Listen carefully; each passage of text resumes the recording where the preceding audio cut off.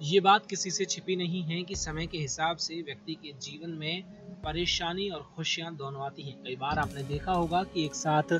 दिक्कतों का सामना करना पड़ता है, लेकिन कई बार ऐसा होता है कि बहुत ज़्यादा खुशियाँ भी हमारी ज़िंदगी में आने लगती हैं, जिसके बाद हम बहुत अच्छे तरीके से अपना जीवन जीते हुए नज़र आते हैं। उसी कड़ी में आज हम आपको बताने वाले हैं कुछ ऐसी राशियों के बारे में जिनकी ज़िंदगी अब बहुत ज़्यादा खुशनुमा बनने वाली है। जी हाँ अब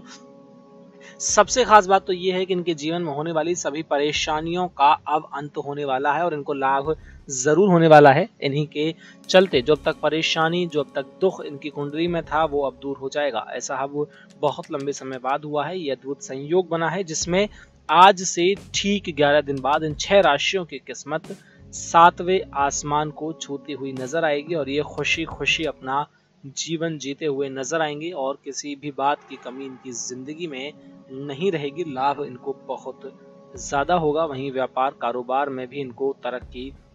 बहुत ज़्यादा मिलेगी काफ़ी लंबे समय से, जिस काम को, जिस चीज़ को सोच रहे थे करने की, वो भी अब पूरी हो जाएगी और यादगार पल गुजारने में आप कामयाब भी रहेंगे। अपने पितरों, मित्रों के साथ अपने मुला,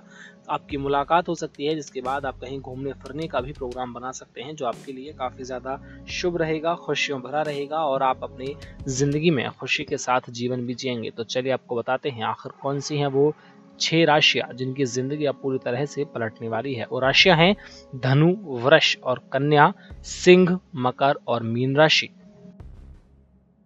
नेक्स्ट नाइन स्पिरिचुअल से आकाश की रिपोर्ट